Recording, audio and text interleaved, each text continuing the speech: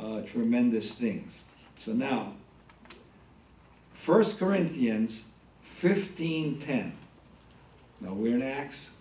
Go past Romans. Go back to 1 Corinthians chapter 15 and verse 10. 1 Corinthians 15 and in verse 10.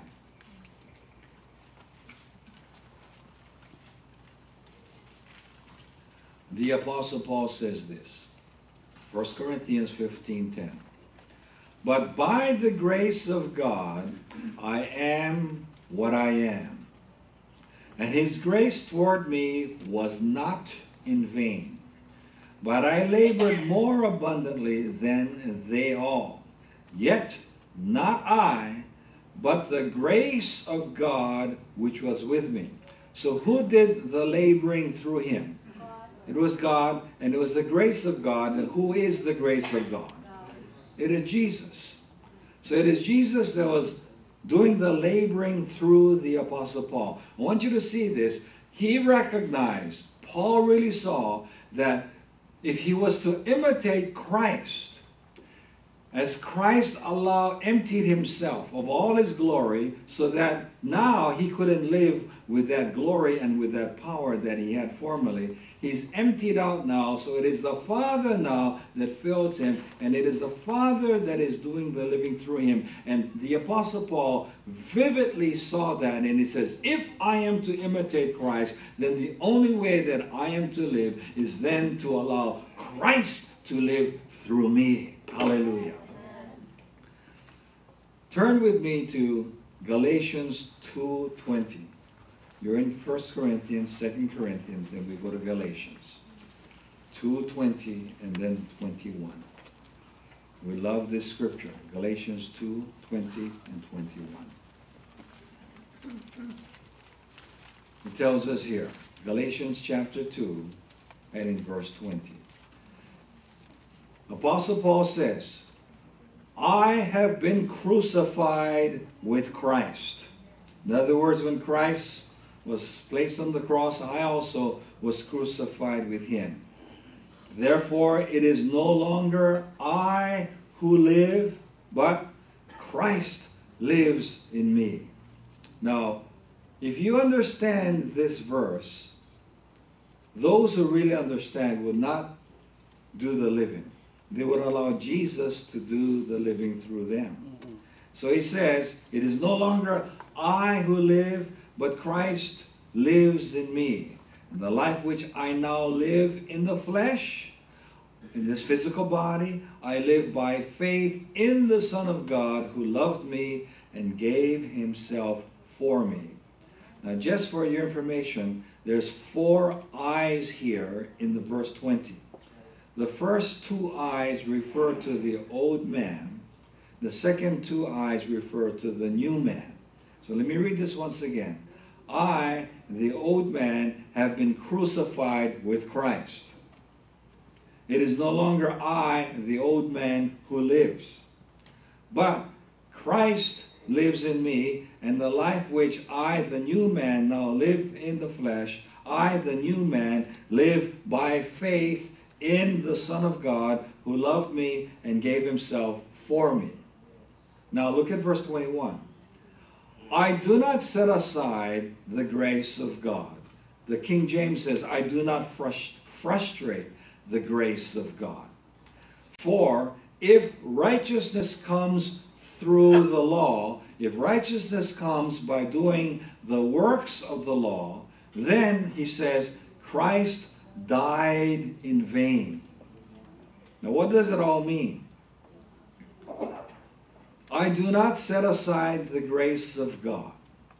Now, what is the grace of God that he's talking about here? He's talking about Christ. He's talking about Christ. The grace of God was specifically, he's talking about Christ doing the living through us. Do you know that that is grace? When He is the one to do the living through us, and that you are being set free, you're off the hook, you don't have to live this Christian life. Remember last week we learned that to the uh, unbeliever, the good news is that you don't have to die. But to the believer, the good news is that you don't have to live. Hallelujah. Because Christ is the one that's been called to do the living. That is the grace of God. I do not set aside the grace of God, for if righteousness comes through the law, or if righteousness comes through doing the works of the law, then Christ died in vain, and in the reference it says, Christ died for nothing. So, he came to live in us. Now, the thing is, here's a big question. Besides God giving us eternal life and eternal salvation, why did Christ come to live in us for? He came to live in us so that he could live what? Through us. You got that? Why did he come to live in you? So that he could live what? Through you. I want you to understand this is true righteousness. Because that's what it says here. I do not set aside the grace of God, for if righteousness comes through the law, in other words, if righteousness comes through you doing the living, by you doing the works of the law, then Christ has died in vain. But you see, the grace of God is actually, and the righteousness of God is, it is Jesus living through us. Hallelujah. So if you want to really experience the righteousness of God, what is true righteousness and what is the grace of God? It is you allowing Christ in you to live through you. Hallelujah. Of course, many of you are going to ask the question, how, how do I let Jesus live through me? Well, that's why you should go to GT meetings so you can discuss that. Hallelujah. Now, what is true righteousness? Christ doing the living through us is true righteousness. So, when I talk about us doing the living, if we're doing the living, then it is not true righteousness, it is unrighteousness, or it is self righteousness. And this frustrates the grace of God and causes Christ to have, to have died in vain or for nothing.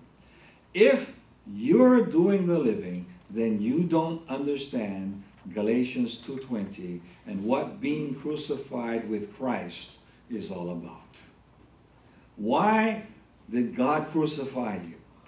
God's plan was not only to nail Christ to the cross, not only to nail our sins to the cross, but also to nail us to the cross. Us meaning our egos with the sinful nature of the old man. Now, it is not God's plan, listen to this now, it is not God's plan to improve us, but it's to remove us Hallelujah. Tell your neighbor, it's not God's plan to improve you. Tell them that. Tell them it's His plan to remove you.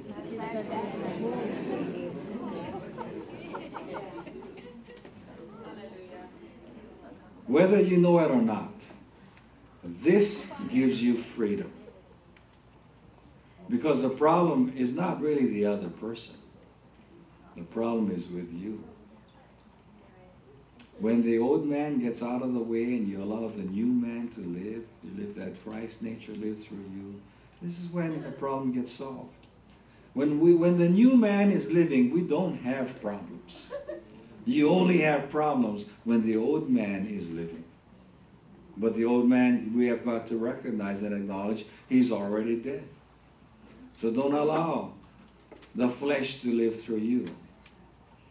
Therefore, imitate me just as I imitate Christ means just as Christ allowed the Father to live through him, and just as I, Paul, allowed Christ to live through me, even so you also should let Christ live through you. You can live your life, or you can experience the life that God has prepared for you as Christ is allowed to live through you. That's the grace life. So many people are saved, but they're living their own life. Mm-hmm. They're living the good life, but they're not living the gospel life. They're not living the grace life. And you can be saved and you can live the good life, the life that you're trying to make for yourself, and then you will die and you will go to heaven, but you'll never experience the life that God had prepared for you as you would have allowed Jesus to live through you. What a waste. That He was the abundant life, and yet you chose to live your life because you wanted to do the living instead of you allowing Jesus to do the living through you. Now just think about how you got saved. Well, before I go through that, Scripture says in Philippians 2:13, he says, "It is God who works in you both to will and to do of his good pleasure." So, isn't that fantastic? Well, it is God that is actually working in us. In Jeremiah 31, in fact, let's turn there. Jeremiah 31, 31. In the Old Testament. Jeremiah 31, 31. I'm turning to a lot of scriptures this morning because I want the scriptures to speak to your heart. Jeremiah 31, 31, down to verse 34. It says here, Are you there? Jeremiah, after the book of Isaiah. Then Jeremiah 31, 31. Behold, the days are coming, actually, because this is the Old Testament. He was talking about what was going to take place in the future. But we know now that we're living in the New Testament age, behold, the days have already come. But it says, Behold, the days are coming, says the Lord, when I will make a new covenant with the house of Israel and with the house of Judah. Not according to the covenant that I made with their fathers in the day that I took them by the hand to lead them out of the land of Egypt. He says, I'm going to make a new covenant, not like the covenant that I made with them with Moses, with the law, with the Ten Commandments and all the other laws. He says, I'm not going to make a covenant like that. My covenant, which they what? They broke. He says, though I was a husband to them, says the Lord. So I'm not going to make a covenant. I'm not going to make a, another covenant that they are going to be able to break. He's now going to make an unbreakable covenant.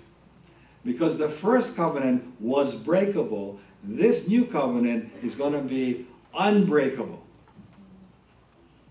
He says, But this is the covenant that I will make with the house of Israel after those days, says the Lord. I will put my law in their minds and write it in their hearts. And I will be their God, and they shall be my people. No more shall each or every man teach his neighbor and every man his brother, saying, Know the Lord, for they all shall know me, from the least of them to the greatest of them, says the Lord. For I will forgive their iniquity, and their sin I will remember no more. Now, turn with me to Ezekiel 36. You're in Jeremiah. Just keep going. You'll come to Lamentations, then Ezekiel 36, 26 to 27. Ezekiel 36, 26 to 27.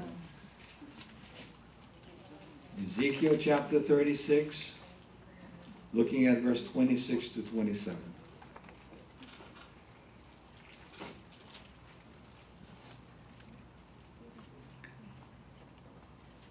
This is still talking about the new covenant that he's going to make. Ezekiel 36 26. God says, I will give you